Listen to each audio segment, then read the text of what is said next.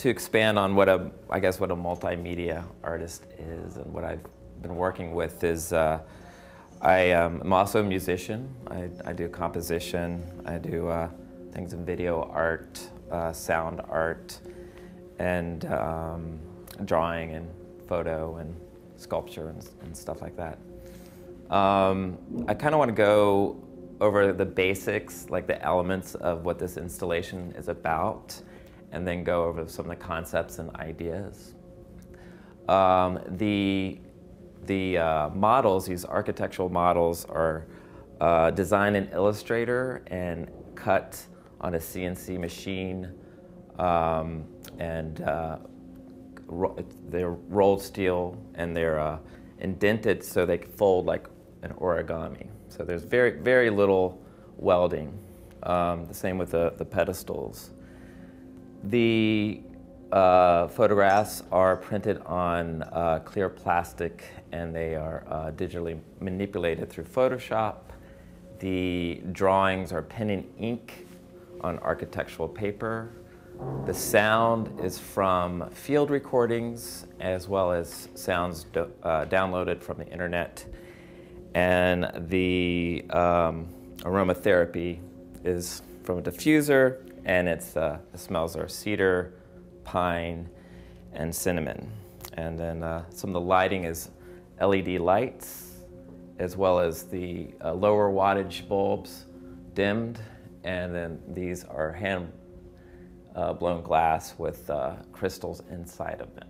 So, um, as far as some of the ideas uh, behind what I'm uh, trying to achieve, Obviously, there are uh, artistic influences um, from uh, conceptual architect uh, Wellington Reiter uh, to uh, Brian Eno with the sound to uh, um, a whole host of others.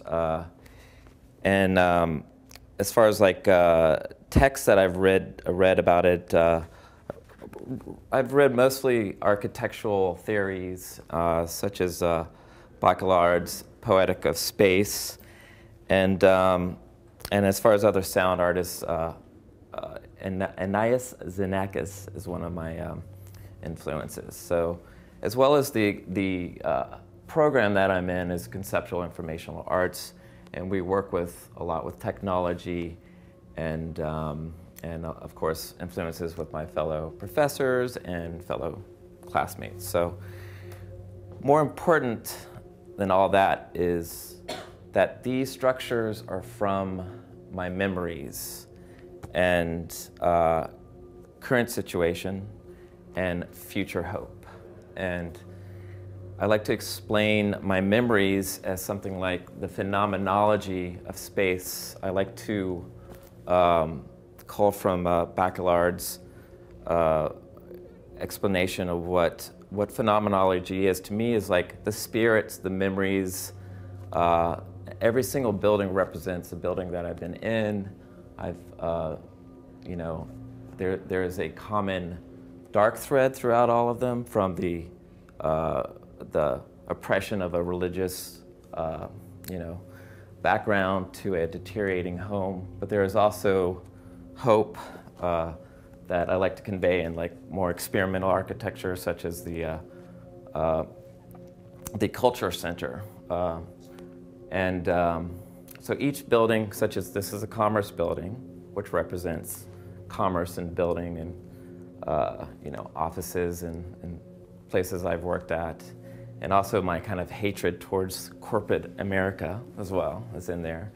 There's a home and uh, the home is, is probably what I mine most of my memories from. And when I talk about phenomenology space, when you, for instance, if you think about your grandmother's attic, you don't think about the wood that it's built, but you think about the memories and the ideas and what it evokes.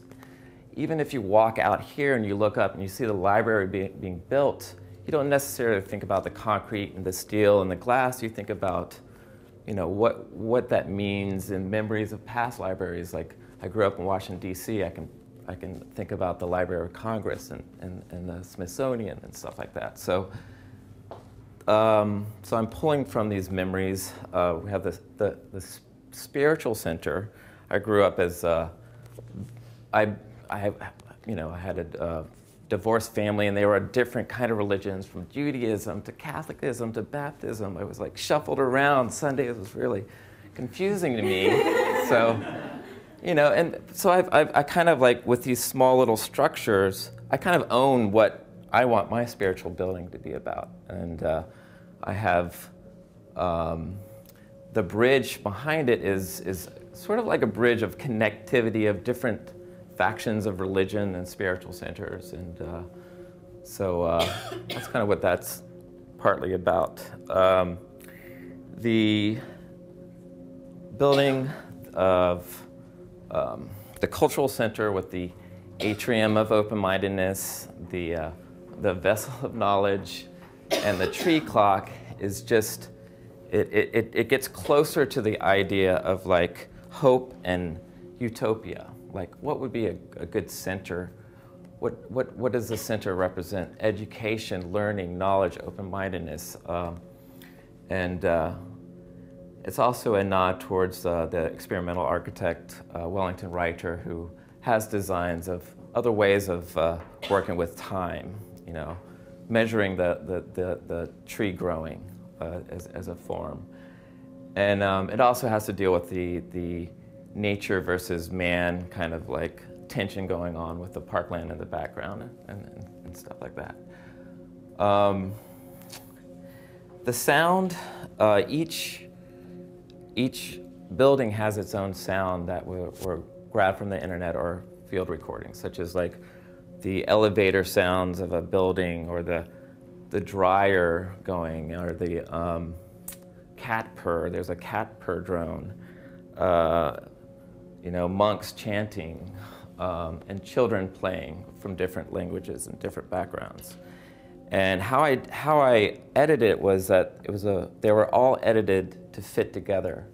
So it's like a matrix of drones that are you know, if you listen closer, you can hear some of the particulars, but if you step back, it's all supposed to be kind of in the same kind of frequency and be a meditative of sorts.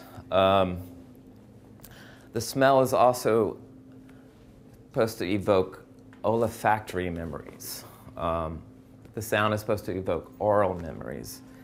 And um, the conceptual structures are supposed to evoke hope for the future and things like that. So um, I want to leave you with uh, a quote from Baudrillard, and then I'll answer questions. So um, Baudrillard says, if I were asked to name the chief benefit of the house, I should say the house shelters daydreaming, the house protects the dreamer, the house allows one to dream in peace.